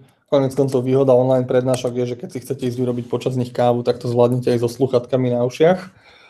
Dobre, ďalšia vec, ktorá sa nás trošičku týka pri mobilných aplikáciách, ak sa bavíme o mobilných aplikáciách, je nejaký user experience a nejaké interakcie. Pričom uh, chcem povedať, že v tomto prípade, o čom sa budeme baviť v rámci user experience, nebavíme sa o dizajne. UX naozaj nie je dizajn, aj keď s tým dizajnom možno nejak súvisí. Čiže teraz sa presunieme od backendu naspäť do sveta frontendu tej mobilnej aplikácie a budeme sa na to pozerať očami nášho budúceho používateľa. Čo klient chce versus čo klient naozaj chce. Veľmi častý problém pri návrhu aplikácií je to, že klient si myslí, že vie, čo chce a on vám to povie, ale vy ako skúsený nejaký návrhár alebo vývojár by ste mali vedieť identifikovať, že čo ten klient naozaj chce. Aplikovať tzv. prístup, že look beyond feature request. To znamená, že nebrať to tak, že klient vám povedal, že toto mi tam dajte, ale skúste sa na to pozerať tak, že prečo to tam vlastne chce a či to tam naozaj má zmysel, aby to tam mal a či by sa to nedalo spraviť nejak inak, než to chce on, tak aby to bolo lepšie. Napríklad veľmi často vám klient povie, že dajte mi do aplikácie na začiatok nejaký tutoriál, aby ten používateľ, ktorý príde, vedel, ako má tú apku používať. Pritom podľa mňa to, čo on v skutočnosti chce, je, že on nechce tutoriál. On chce, aby tí ľudia vedeli používať tú aplikáciu. To znamená, že tá požiadavka síce znie príde do vašich uší, že dajte mi tam tutoriál, ale on ho v skutočnosti nechce. On od vás v skutočnosti možno chce aplikáciu, kde ten tutoriál nebude potrebný a vašou úlohou je vymysleť to tak, aby nebol potrebný, aby tí používateľia tú aplikáciu vedeli hneď používať. Je extrémne dôležité v procese vývoja mobilnej aplikácie s tým klientom komunikovať. Tá komunikácia, tá, tá medziludská základná komunikácia je extrémne, extrémne dôležitá, pretože nikto nemá dokonalé nápady. Takže diskusia okolo UX je vždy plne legitímna a vždy je žiadaná, pretože ani najlepší UX designer nevymyslí možno niečo hneď na prvýkrát dobré, alebo možno nezváži nejaký iný aspekt, ktorý práve pri tejto konkrétnej aplikácii je dôležitý. Čiže o tomto sa proste treba rozprávať s klientom, s nejakou testovacou vzorkou používateľov, so všetkými ľuďmi, ktorí sú do tohoto procesu nejak zatiahnutí. Ťahačom pri tom UX návrhu vždy musí byť používateľský zážitok. Nesmie to byť programátorská lenivosť. Toto vám možno znie logicky, hej, že neurobíme tie inputy zle len preto, že je to ľahšie naprogramovať, lenže toto sa ľahko hovorí, aplikačná prax je často iná. Hlavne keď horí deadline, nestíha sa, tak zrazu sa začne rozmýšľať nad tým, že či to musí byť takto komplikované, alebo či to neurobíme technicky jednoduchšie, aj keď to pôjde na úkor možno používateľského zážitku. Takže na tieto veci si treba dať pozor, a treba myslieť na to, že žiaden používateľ nie je akože nejaký prvok štatistického súboru. Veľmi často stretne, sa, sa stretneme s takým pojmom, že priemerný používateľ, a ja to dosť častokrát používam, že priemerný používateľ toto, priemerný používateľ hento. Treba si uvedomiť, že nie vždy, nie vždy ten priemerný používateľ naozaj existuje. To znamená, že je veľmi dobré si povedať, že dať, dať nejakú modelovú situáciu, že kto je ten používateľ, pre ktorého to robím. Hej, že nie je to, že priemerný používateľ, ktorý je starý človek, ale môžete proste povedať, že je to nejaká, predstavte si nejakú pani Boženku, ktorá má 63 rokov, je to učiteľka slovenčiny, má tri deti, rada štrikuje, počítač je pre ňu dielom satana, nenávidí svoj dotykový telefón, lebo jej to nanútili deti a ona to používať nechce, ale musí. To znamená, že toto je konkrétny typ používateľa, ktorý možno nepoužíva vašu aplikáciu preto, lebo ju chce používať a preto, lebo, lebo nadšene chce vedieť, že čo, čo s tým všetko môže robiť. Ale možno jej to proste nanútili nejakému starému človeku, jej deti, jej vnúčatá a ona to berie ako nutné zlo, ktoré proste na niečo musí používať a vašou úlohou nie je sa na to pozerať tak, že však ten užívateľ na to príde, ale pozerať sa na to napríklad pohľadom, že však ten užívateľ na to nepríde. Pre mňa napríklad o, veľkým, veľkým takýmto pozorovaním alebo ako takou peknou lekciou bolo, keď sme našu, našu babku učili používať tablet, ktorá teda predtým žiadne takéto technológie nepoužívala. A najprv mala nejaký Androidový tablet, potom mala nejaký iPad a až keď to dáte do ruky akože človeku, ktorý nie je by design úplne počítačovo gramotný a nie je úplne akože zvyknutý takéto technológie používať, tak veci, ktoré na mňa vyskočia alebo na vás vyskočia a poviete si, že však toto je totálne jednoduché, úplne simple, uh, tak zrazu zistíte, že ten starší človek alebo ten neskúsený používateľ s tým má extrémny problém a začnete vidieť toľko rôznych akože UX nedostatkov, ak to dáte inému, inému ako bežnému používateľovi do ruky, že, že vás to samých častokrát prekvapí.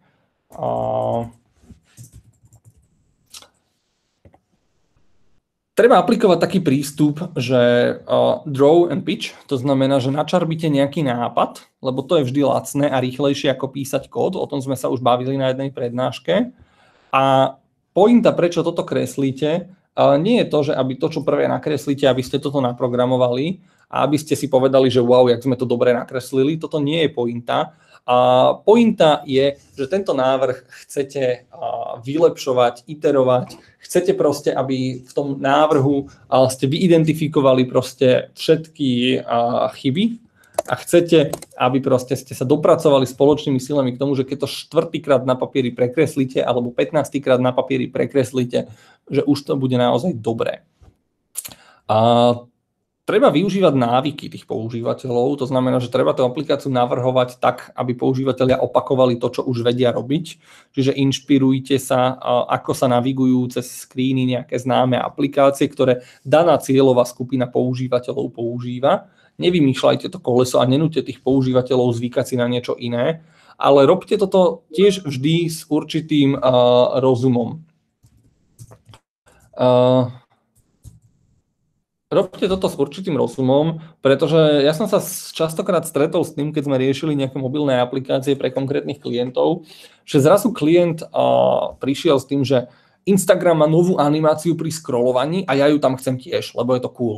A pritom ju vôbec nepotrebujeme, ničomu neprospeje. A potom príde, že, že, že LinkedIn, uh, LinkedIn uh, uh, pridá inú animáciu, Twitter pridá inú animáciu, vám sa všetky páčia a ten klient vás presvedčí, že všetky treba narvať do tej jeho aplikácie, na konci z toho bude úplný guláš a vôbec to nie je správne. To znamená, že niekedy, uh, niekedy je rozumnejšie aj toho klienta trošku skrotiť, zbrzdiť a nechať ho zamysleť sa nad tým, že či to naozaj potrebujeme, či to na niečo je aj dobré, či to vytvorí nejakú pridanú hodnotu v tej aplikácii. Po všeobecnosti za mňa osobne platí, že v jednoduchosti je krása. To znamená, že pri takých nejakých akože základných, a, základných UX praktikách treba myslieť na to, že vy nechcete zmiasť toho používateľa, že vy mu to spravidla chcete uľahčiť. To znamená napríklad, a mnohé mobilné aplikácie toto dnes už našťastie dodržiavajú, treba myslieť na to, že v každom momente používania aplikácie by používateľ mal vedieť, čo sa od neho očakáva, opačnom prípade začne byť frustrovaný. To znamená, že na jednej obrazovke by ste mali mať spravidla nejakú jednu primárnu akciu, ak to teda zrovna nie je nejaký dashboard, z ktorého sa rozbieha niekde ďalej. Hej. Ale ako, ako náhle dáte pod formulár používateľovi 5 veľkých tlačítok a rovnako veľkých, tak on nebude úplne vedieť, čo sa od neho očakáva. To znamená, že mal by naozaj vedieť, že čo na tomto skríne mám urobiť, a čím dám najavo, že už som to urobil a idem ďalej v procese, alebo že proces je dokončený. Vo všeobecnosti sa hovorí, že nedávajte príliš na výber, pretože Hicksov zákon hovorí, že čas, ktorý používateľ potrebuje na rozhodnutie, že čo vlastne má urobiť, stúpa logaritmicky s počtom ponúknutých možností. To znamená, že je rozdiel, či mu ponúknete jednu možnosť, dve možnosti, tri možnosti alebo štyri možnosti. To je veľmi zásadný rozdiel a či už ich tam je 5 alebo 50, to už rozdiel nie je. Proste ten používateľ už je zmetený a v momente, keď je zmetený, tak nevie, čo má robiť a prichádza frustrácia, nemá chuť to vôbec používať. A, a proste v lepšom prípade zavolá nejakému inému rodinnému príslušníkovi, že prosím ťa, čo mám urobiť, v horšom prípade to hodí o zem a už sa k tomu nikdy nevráti. Častokrát je dobré pri návrhu tých aplikácií sledovať reálny svet Zaujímavý bol taký, uh, taký vývoj, že keď vznikali prvé mobilné aplikácie, keď prišli prvé smartfóny, tak väčšina mobilných aplikácií bola tak, ma, používala tzv. skeuomorfický dizajn. To znamená, že dizajn, ktorý sa snažil napodobniť reálny svet, pretože tí ľudia to ešte nepoznali. Pre tých ľudí to bolo niečo nové, mať mobilnú aplikáciu a ťukať do nejakého dotykového displeja. Takže vývojári si dali strašne záležať na tom, aby napríklad pri aplikácii kalkulačka, to vyzeralo tak, ako starodávna tlačítková kalkulačka, aby na prvý pohľad človek vedel, že na čo mám ťukať prstami a čo je len displej alebo nejaká zobrazená hodnota, na ktorú nemusím ťukať. Čiže prvá verzia iPhoneovej kalkulačky vyzerala tak, ako to tu máte, alebo tá prvé verzie, neviem, či toto je úplne prvá, vyzerala tak, ako to vidíte na tom prvom obrázku, lebo chcela imitovať reálny svet.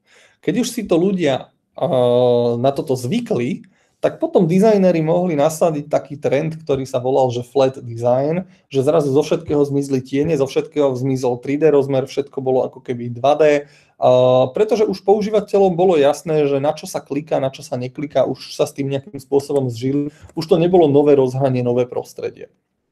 A uh, potom minulý rok začal vznikať taký dizajnový trend, ktorý sa volá, že neomorfizmus, za mňa osobne to bolo v UX svete, že buzzword roka 2020, pretože boli toho plné články. A, a hovorilo sa v tom roku 2020, že to je budúcnosť dizajnu mobilných aplikácií, že sa vrátime trošičku k tým nejakým tienikom, 3D a tak ďalej, že, akože, že vlastne flat design už je nuda a že by tie aplikácie teda mohli vyzerať nejak takto alebo nejak takto že, že, že dáme tomu opäť ako keby nejaký trojrozmerný priestor, čo napríklad znamená, že WhatsApp, keby bol predizajnovaný do neumorfického dizajnu, tak by mohol vyzerať napríklad tak, ako to tu vidíte. Uh, bol okolo toho celkom slušný hype minulý rok. Neviem, stretli ste sa už s nejakou takouto aplikáciou, lebo ja zatiaľ ešte asi ani nie. A tak ako to bolo prezentované rok dozadu na kadejakých fórach a blogoch, že že toto je ten next big thing, dizajnový, dizajnový framework, tak neviem, že či len to spomalil COVID, alebo že čo sa udialo, ale mám pocit, že teda zatiaľ sa nástup tohto, alebo masívny nástup tohto neumorfického dizajnu nekoná, tak uvidíme, ako sa, ako sa tie dizajnové systémy vyvinú. Každopádne vždy je dobré bez ohľadu na to, aký máte dizajnový systém, používať nejaké UX paterny, ktoré existujú a na ktoré sú ľudia zvyknutí. Nevymýšľať koleso, to znamená použiť buď nejaký bootstrap, alebo optimistic UI, alebo material design, alebo čokoľvek, čo proste viete, že používateľia poznajú a sú zvyknutí na to, že ako tam vyzerá navigácia, ako tam vyzerá tlačítko, ako tam vyzerá label, aby im to proste prípadalo už nejaké povedomé, aby proste vedeli, že, že, že však toto poznám a viem, čo sa tu odo mňa očakáva. Takisto je dobre eliminovať vizuálny smog. Všimnite si, že napríklad v Gmaili pre každý jeden mail máte nejaké ďalšie akcie typu archívovať, zmazať, označiť ako neprečítanú, pripomenúť neskôr. A tieto ikonky máte dostupné pre každý mail, ale v defaultnom prehľade mailov ich nemáte, pretože by to bol zbytočný vizuálny smog, keby tu boli proste 4 stĺpce tlačítok. Robilo by, dávalo by to taký po, pocit používateľovi, že preboha máš tu 100, 150 možných tlačítok, na ktoré môžeš kliknúť a mohlo by to prispievať k tomu, že by sa v tom ten používateľ strácal alebo by bol zmetený. Takýmto spôsobom to Google vyriešil uh, na Hoover akciu, kde keď nabehnem kurzorom na konkrétny mail, tak sa mi ponúknú jednotlivé uh, možnosti a a viem, čo môžem s daným mailom urobiť. Čiže ten vizuálny smog je do určitej miery vyeliminovaný. Treba myslieť ale na to, že na mobile a na tablete on-hoover akcia neexistuje. To znamená, že tam vždy reagujeme už na konkrétny dotyk prsta na obrazovku, či už nejaký krátky, dlhý, silný, slabý, podľa toho, čo dané zariadenie, eh, čo dané zariadenie podporuje. Veľmi dôležité je dávať používateľovi okamžitý feedback odoslanie vyplneného formulára by nemal byť výherný automat. Ako to hlavne často vidíte na nejakých štátnych službách alebo nejakých starších, e, obzvlášť starších štátnych službách, že vyplňate proste 20 minút formulár, potom kliknete na tlačítko odoslať a potom dostanete zoznam všetkých chýb, ktorých ste sa dopustili pri vyplňaní formulára. Akože sami poznáte, že toto je najväčšia frustrácia, ktorú pri vyplňaní akýchkoľvek formulárov môžete zažiť a je dobré dávať okamžitý feedback. To znamená, že ak sa toto nepodobá na e-mailovú adresu, tak upozornite používateľa, že daj sem platnú e-mailovú adresu, napríklad, hej, naznačíte mu, že v akom tvare to má byť. Mňa ide poraziť, keď vidím uh, v niektorých uh, formulároch chybovú hlášku, že nesprávny formát telefónneho čísla. Čo s tým mám urobiť? Mám, odkiaľ, ako si mám domyslieť, že ktorý formát je správny? Je problém povedať, že dajte to tam v takomto formáte? Akože to je najhoršia vec, ktorú môžete používateľovi uh, povedať. A keď už si aj dneska mnohí vývojári zvykli na to, že oznámite aj instantne používateľovi, že niečo robí zle, tak stále sa ešte zabúda na to, že veľmi dobre pôsobí, keď tomu používateľovi dáte aj ten pozitívny feedback že ak to pole je vyplnené správne, tak mu tam dajte zelenú fajočku a dajte mu tým najavo, že toto už je vybavené, toto si urobil dobre, poď ďalej. Hej. Chybové hlášky vo všeobecnosti nikdy neslúžia na to, aby ste používateľovi povedali, že je neschopný idiot, ktorý to nevie používať. A vašim cieľom nie je vytočiť toho človeka ani frustrovať. Čiže ak do vašich aplikácií vnesiete chybové hlášky takéhoto typu, že formulár obsahuje chyby, niečo je zlé, bol problém s vytvorením vášho účtu, alebo nebodaj akože 17 tisíc hexadecimálnych gulášov, tak akože celé zle. Proste toto nie sú chybové hlášky, ktoré sú na čokoľvek dobré, pretože vy tomu používateľovi nepomôžete. Vy mu vôbec nepoviete, že čo sa vlastne deje, čo má urobiť. Vy mu len hovoríte, že nevieš to, si blbý, nejde ti to. Toto proste nemôžete, nemôžete očakávať, že ten používateľ sa z toho zotaví. Preto keď mu chcete povedať, že niečo urobil zle, tak všimnite si, že tu máte pekný príklad že môžete, dať, môžete proste povedať používateľovi, že dátum je zlý. Prečo? Čo, čo je na tom dátume zle? Možno si to neuvedomuje.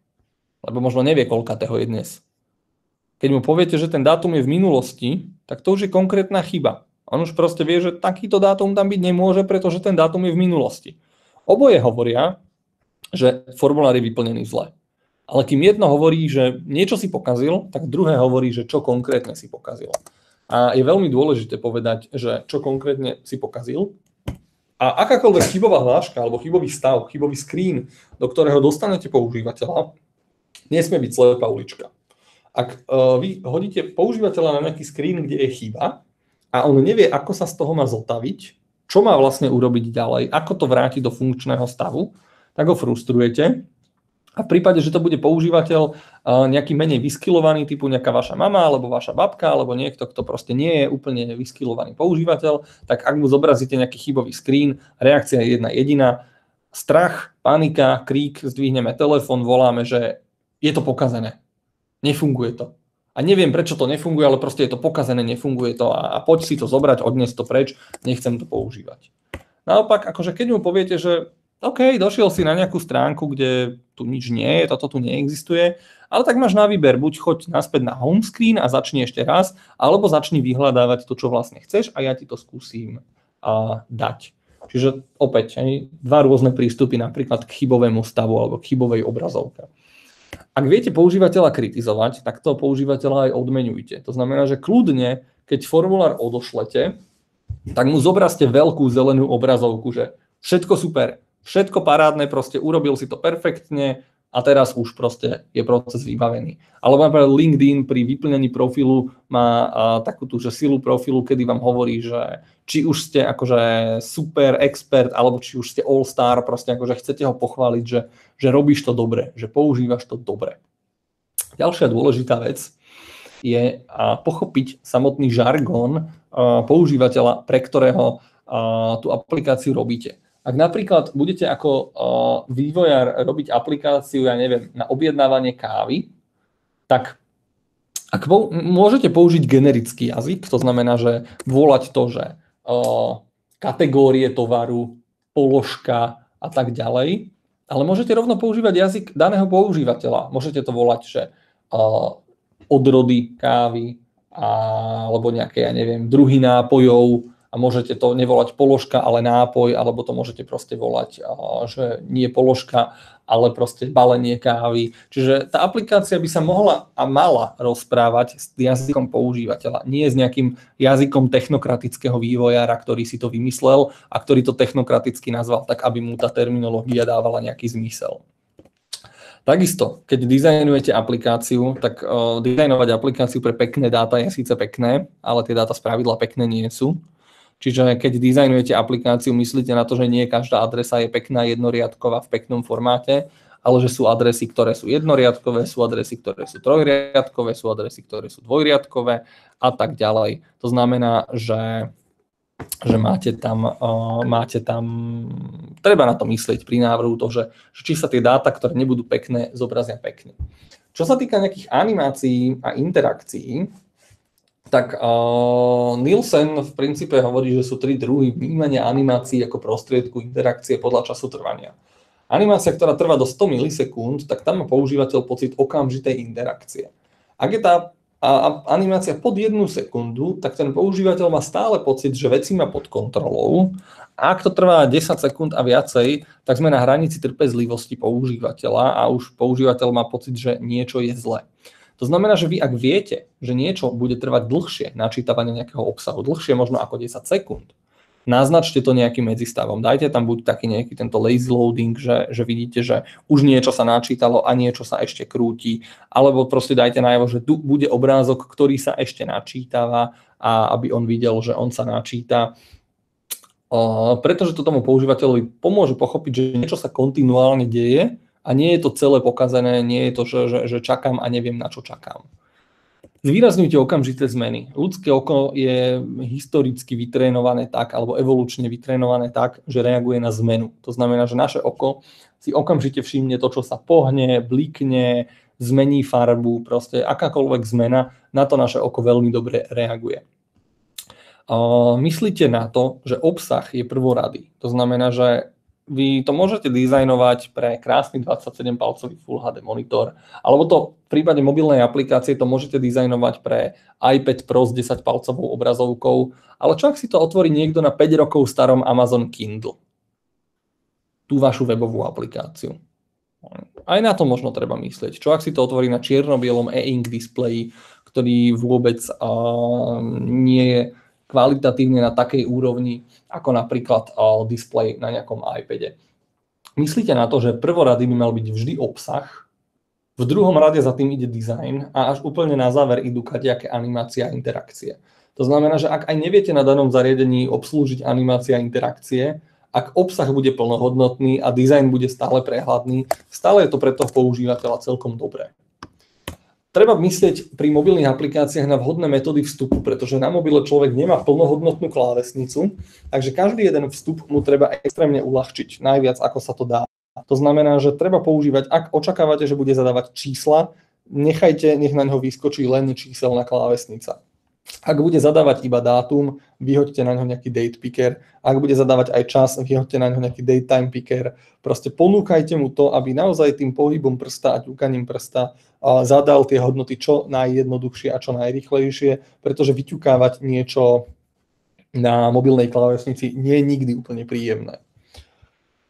To, na čo sa častokrát zabúda, sú rôzne zrakové postihnutia, pretože možno žijeme v takom nejakom prostredí, kde toto prehliadame. Ale napríklad 8% populácie sú ľudia s daltonizmom, to znamená, že nevnímajú farby úplne správne, nevidia farby úplne správne. A ďalšia vec je, že vekom zrak prirodzene degraduje. To znamená, že vy ako mladí ľudia máte možno veľmi dobré oči mnohí, mnohí možno už nie, ale starší ľudia, tam to ide vždy akože trošku dolu vodou s tým zrakom a je to proste prirodzené a treba na to myslieť. To znamená, že treba používať vhodnú typografiu, treba používať vhodný kontrast a nikdy nepoužívať farbu na jeden jediný indikátor stavu. Napríklad, čo sa týka vhodnej typografie, všimnite si, že tu je použité akože petkové písmo, ktoré vás nejakým spôsobom vedie opticky v tom riadku a je tu použitá veľmi veľká šírka riadku, to znamená, že text nie je nadsapený priamo na sebe, pretože cieľ je, aby sa vám to čítalo pohodlne a aby ste sa nestrácali v tom texte a neunavovali si oči.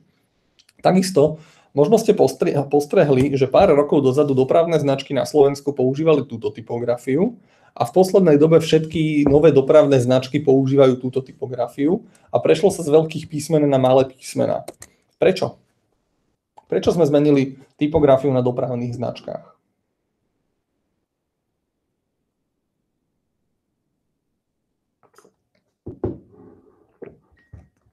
Lepšie sa to číta, z väčšej vzdialenosti dokážete spolahlivo prečítať a rozluštiť, aký text tam je. Čiže menej namáhate zrak vodiča a, a skôr si prečíta, čo na tej dopravnej značke je. Toto je presne tá vec kontrastu, že ak dáte zlý kontrast alebo slabý kontrast, tak na nejakom zlom zariadení alebo pri nejakom ostrom svetle alebo čomkoľvek možno zistíte, že zrazu veci sú nečitateľné, takže s kontrastom treba tiež pracovať tak, aby to nešlo na úkor čitateľnosti alebo nejakej rozpoznateľnosti toho, že čo ste s tým chceli vyjadriť. No a treba myslieť na tie zrakové postihnutia v takom kontexte, že ak máte človeka, ktorý nevie rozoznať kvalitne farby, tak uh, vy ako človek so zdravými očami uvidíte, že však toto je zelené, toto je červené, toto je zelené, čiže toto pole je správne, toto pole je nesprávne, toto je správne a môžem to submitnúť. Ale človek, ktorý má zrakový problém a nevie rozpoznať tie farby, tak on to vidí takto. Ak ste použili farbu ako jeden jediný indikátor stavu, tak on vôbec nevie, čo mu indikujete. A pritom je to jednoduché. Stačí tam doplniť nejakú ikonku, a už v tomto momente aj človek, ktorý tie farby nerozoznáva, v tom formulári vidí, že uh, čo je správne a čo je nesprávne. Farba je veľmi dobrý indikátor stavu a je super používať farbu na indikovanie stavu, ale nikdy by to nemala byť len farba, to, čo indikuje nejaký stav. Vždy by to malo byť doplnené o nejakú ďalšiu informáciu, ktorá trošičku napovedá viacej, ak človek má problém tú farbu rozoznať. No a samozrejme, keď hovoríme o tom, že farba má nejaké indikátory, tak ich treba používať s rozumom a nikdy nevymyslieť takú blbosť, ako vidíte na tomto poslednom slajde. Sú nejaké otázky?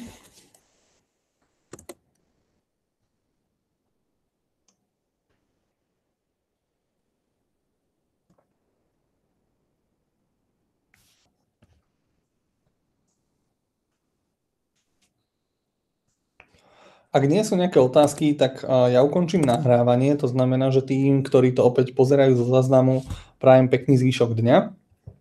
A teším sa, ak sa stretneme na ďalšej prednáške. Majte sa pekne, dovidenia.